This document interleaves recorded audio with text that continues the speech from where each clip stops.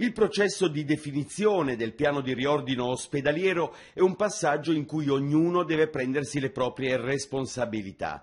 Costruire dunque con i sindacati una permanente unità di controllo e verifica in maniera sistematica, creando un flusso senza interruzione. Parole per certi versi condivisibili, ma che poi devono trovare un riscontro concreto in materia di efficienza e di qualità dei servizi. Finora, in quella che in Puglia è considerata un'impresa titanica, tutti hanno fallito, qualcuno anche con qualche lancio di uova. Nella realtà dei fatti l'interlocuzione con i sindacati non è andata nel migliore dei modi, perché il piano, così com'è, non convince le organizzazioni sindacali, poiché a loro avviso rischia di indebolire la sanità pubblica aumentando la mobilità passiva.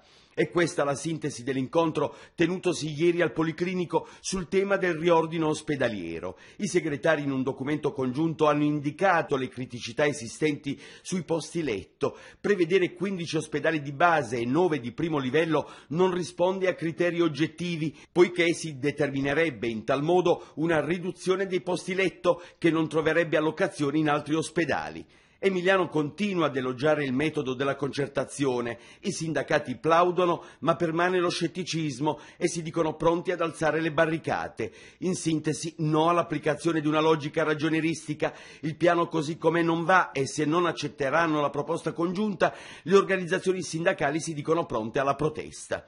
Nel dettaglio alcune riflessioni sugli ospedali che potrebbero salvarsi dai tagli. Uno su tutti è il Fallacara di Trigiano, fermo restando che la struttura di Trigiano diventerà il più grosso centro risvegli del sud. Dicono dalla presidenza si sta cercando di capire se è possibile lasciare aperti alcuni reparti. La riflessione non è tanto sui bisogni dell'ospedale trigianese in sé, ma su quanto il Fallacara aperto possa servire al divenere con cui è collegato. Il tempo per le modifiche modifiche scade domenica prossima. Entro quella data la Regione metterà a punto la delibera. Nel frattempo arrivano denunce e segnalazioni. La prima riguarda il Policlinico. Al padiglione Asclepios sperpero di denaro pubblico secondo la denuncia di Luigi Cipriani del gruppo indipendente Libertà.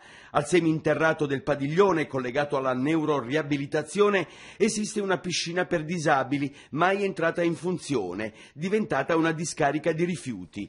Ciliegina sulla torta l'ospedale di Canosa che rientra tra i nove ospedali da chiudere. Domenica si terrà l'inaugurazione delle nuove strutture, tutte nuove di zecca e messe a norma, in cui saranno trasferiti il pronto soccorso e i reparti di medicina, geriatria e lungodegenza, un taglio del nastro che potrebbe rivelarsi perfettamente inutili e soldi pubblici mandati allo sperpero.